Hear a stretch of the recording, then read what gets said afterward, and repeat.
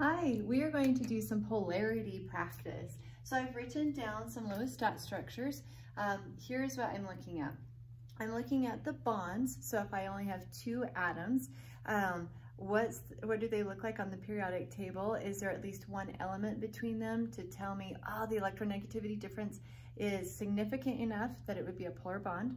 Um, second, I go to, is there a lone pair on the molecule? That would make it polar. And third, I'm asking, is this molecule symmetrical? Are all the substituent atoms around it the same?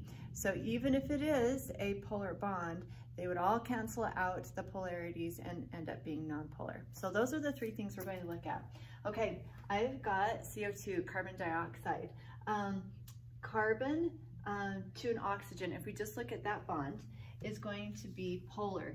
And here's the reason why. If you notice, there's carbon, there's oxygen, nitrogen is in between. So if I was just looking at carbon monoxide, a carbon and an oxygen, they'd say, oh, that's a polar bond. The oxygen is going to be um, the partial negative, and the carbon is going to be the partial positive. But notice here, we have got two oxygens.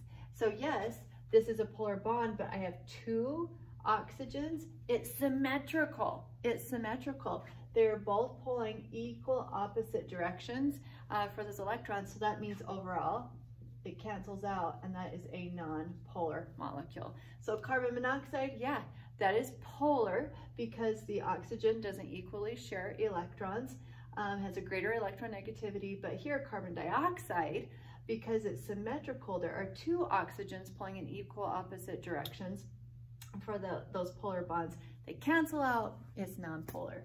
Okay, let's look at this uh, nitrate ion.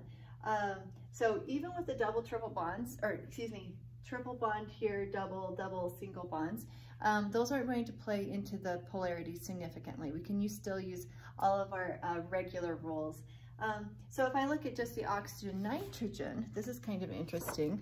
Notice that bond nitrogen oxygen, they're right next to each other. Because they're next to each other, if I just had NO, I would say that was nonpolar. If they're close enough, their electronegativities are going to be very similar. When you subtract and take the difference of electronegativities, they're going to share pretty equally. Um, well, in this case with nitrogen, um, I have three of the same substituent, is symmetrical. So right away, I would say nonpolar. So this is kind of an interesting example. Each bond, I would say, is nonpolar and the molecule is nonpolar. Over here, I'd say the bond is polar, but the overall molecule is nonpolar. Um, okay, let's look at our phosphorus pentafluoride. Um, so again, let's look at bonds. So here's my phosphorus and there's my fluorine. So we definitely have here and here, we have the space of not only one element in between them, but also on different energy levels. So I would definitely say, yeah, that's going to be a polar bond between phosphorus and fluorine. But looking at the overall molecule, it's symmetrical. This molecule is going to be nonpolar. Each of those fluorines pulling in equal opposite directions are going to cancel each other out for the polarity. So nonpolar molecule. Now, if you're ever just asked, hey, is this polar or nonpolar, it's referring to the molecule. You have to specifically be asked if the bond is polar or nonpolar. And I've seen those questions. I've seen those questions where a student will be asked, um, is the bond polar and is the molecule polar? Um, but if you're just asked, is it polar, they're referring to the overall molecule. Um, okay, I put benzene here. Wanted to remind you that benzene is just carbon and hydrogen. Each of those um, little vertices represent carbon and each carbon is going to have one hydrogen coming off of it. So as a reminder, carbon and hydrogen, non-polar. So all of this, just carbon and hydrogen bonds, non-polar. Anytime you have those hydrocarbons, non-polar. Now, if you add oxygen to it, nitrogen to it, that's to change. Um, but if it's just carbon and hydrogen, non-polar or regardless of double, single, triple bonds. Okay, we have a xenon trioxide. Um, so kind of fun, the xenon does a covalent bond with three of the oxygens. I look at the central atom, remember. Um, so xenon and oxygen, I would say that that is a polar bond. The oxygen will attract the electrons um, if they ask me about bonds. But looking at the molecule, there should be something that really grabs you. It's that lone pair. I see a lone pair on the central atom. Boom, we're done.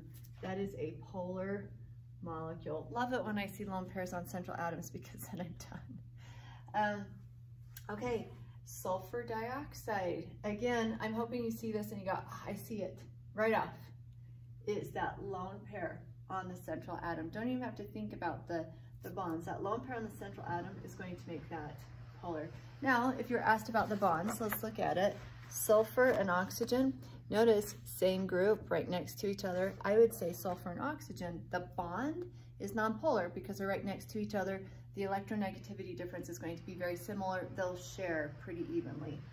Um, okay, T-shaped. Check this out, five electron domains, one, two, three, four, five. Um, so chlorine has three bonds and two lone pairs this time. So we're gonna have the partial negative on this side and that whole side will be the partial positive. That is going to be polar.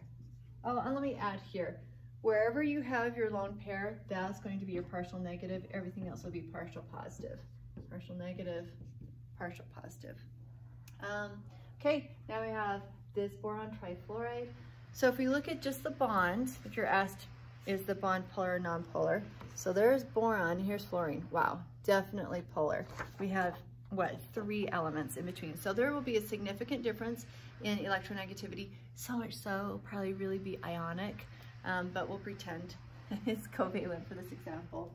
Um, so definitely I'd say a polar bond, um, but looking at polarity of the molecule, it's symmetrical all of the bonds or all of the atoms are the same. They're all fluorine.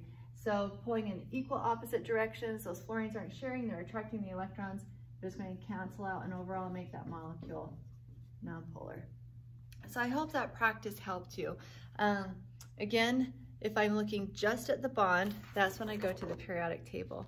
If there's at least one element between the two atoms that I'm comparing, um, and that could be going across the period or down the group, then I say it's polar. And here's the justification. Because the electronegativity difference is great enough that the electrons will not share equally.